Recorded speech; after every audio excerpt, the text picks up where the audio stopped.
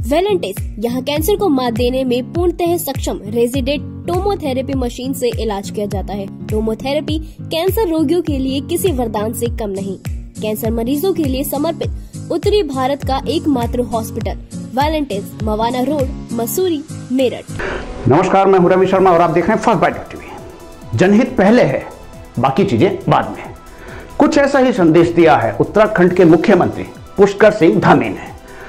Corona की संभावित तीसरी लहर व जनहित का हवाला देते हुए सीएम धामी ने कांवड़ यात्रा को स्थगित कर दिया है।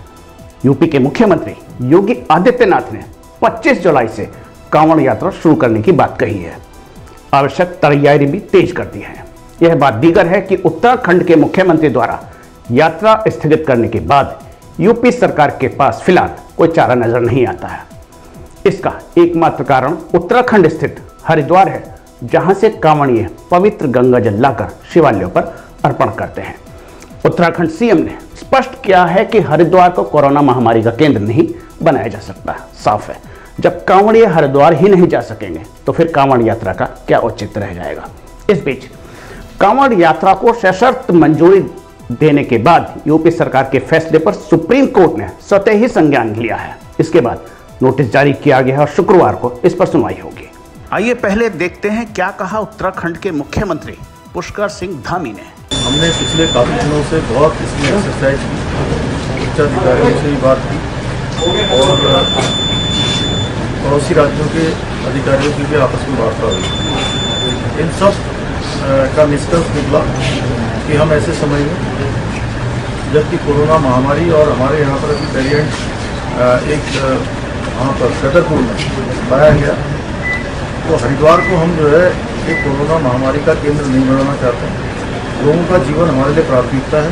हम उससे बिल्कुल भी खिलवाड़ नहीं कर सकते उसमें हम कोई कोताही नहीं बरतेंगे इसलिए हमने यात्रा स्थगित कर दी। सर यूपी के चीफ मिनिस्टर तो कह चुके हैं कि 25 से हम शुरू कर रहे हैं। अब कैसे हम कर पाएँगे? क्योंकि यहाँ पे फोर्स भी लगाना है। देखिए इससे पहले आप लोगों ने देखा होगा कई बार ऐसी स्थितियाँ आई हैं इसलिए हम लोगों ने निर्णय लिया है। हमारी सरकार ने निर्णय लिया है कि हम यात्रा नहीं करें सर सर, सर अगर बॉर्डर के अंदर को, कोई कावड़िया आते हैं तो उनको रोका जाएगा? क्या कुछ व्यवस्था रहेगी सर? हम सभी से अपील करते हैं कि चूँकि कोरोना महामारी चल रही है इसलिए लोगों का जीवन बचाना ज़्यादा ज़रूरी है और भगवान को भी अच्छा नहीं लगेगा किसी की जान जाएगी। उत्तराखंड में कांवड़ यात्रा में हर साल सावन में करोड़ों कांवड़िए हरिद्वार पहुँचते हैं। श्रद्धालु हरिद्वार से गंगा जल लेकर अपने गृह राज्य लौटते हैं। ये लोग भगवान शिव के जलाभिषेक के लिए गंगा जल लेने आते हैं। ज़्यादातर कांवड़िए यूपी, हरियाणा, दिल्ली, राजस्थान, हिमाचल जैसे राज्यों से आते हैं। 2019 में कोरोना से पहले करीब पाँच करोड़ कांवड़िए हरिद्वार पहुँचे थे। यूपी, उत्तराखंड और केंद्र को नोटिस देते हुए कोर्ट ने कहा है कि प्रधानमंत्री भी कोरोना की तीसरी लहर के प्रति लोगों को आगाह कर चुके हैं। ऐसे में हम संबंधित राज्यों का रुख जानना चाहते हैं।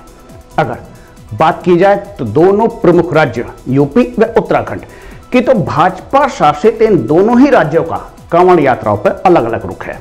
कोरोना की वजह से उत्तराखंड में कांवड़ यात्रा रद्द की गई, जबकि यूपी सरकार शर्तों के साथ यात्रा को मंजूरी दे चुकी है। अब दोनों राज्य व केंद्र सरकार का रुख जानने के बाद सुप्रीम कोर्ट का कांवड़ यात्रा को लेकर क्या निर्णय होगा, इस पर सभी की नज़रें लगी हुई हैं। उत्तराखंड में लगातार दूसरे साल कांवड़ यात्रा रद्द की गई है। सुप्रीम कोर्ट के रुख पर बनी रहेगी हमारी नज़र। इस खबर में फ़िलहाल इतना ही। कोरोना की तीसरी लहर को रोकने के लिए हमें और अधिक सतर्कता बरतने की ज़रूरत है। भीड़ वाले इलाकों में जाने से बचें।